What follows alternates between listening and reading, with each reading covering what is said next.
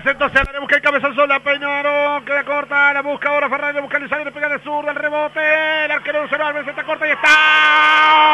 ¡No fue! ¡Gol!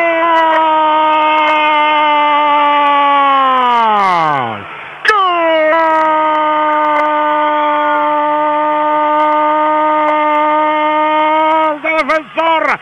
defensor la bandera. El árbitro levantaba la bandera del otro lado. Los futbolistas defensores la festejan la bandera. Terminó empujando dentro de las manchas. Ahora habrá que esperar a ver qué pasa porque fue también dudosa. Porque hubo muchos choques, hubo mucha lucha, hubo mucha disputa. Habrá que esperar a ver si hay var o no. Lo cierto que por ahora los hinchas festejan la bandera en toda la disputa, en toda esa pelea, en todo ese ring que hubo en el área, la terminó empujando dentro de las manchas y por ahora, por menos por ahora, en 45 minutos. Estamos 1-0. Facundo la bandera lo merecía 1-0 para el defensor. Fútbol a sol y sombra llegando a todo el país y el mundo. ¡Qué gol raro otra vez! ¡Qué gol raro, raro! El que termina convirtiendo la bandera en el córner. La pelota estaba por todos lados en el despeja. Aparece Lizari. No despeja bien.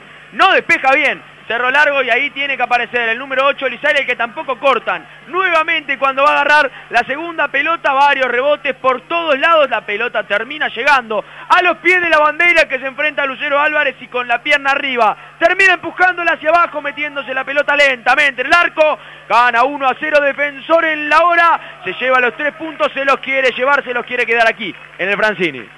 Bueno, se encuentra cerca del final defensor con un premio que ha buscado. Ha batallado Violeta, se ha puesto el partido en los hombros a cargo para ir en busca de la apertura del score. Lo ha encontrado. Ojo, una jugada muy parecida a la del gol de Ergas que fue anulado. Que no lo griten demasiado los hinchas de defensor por las dudas, porque hay olor a bar, ¿eh?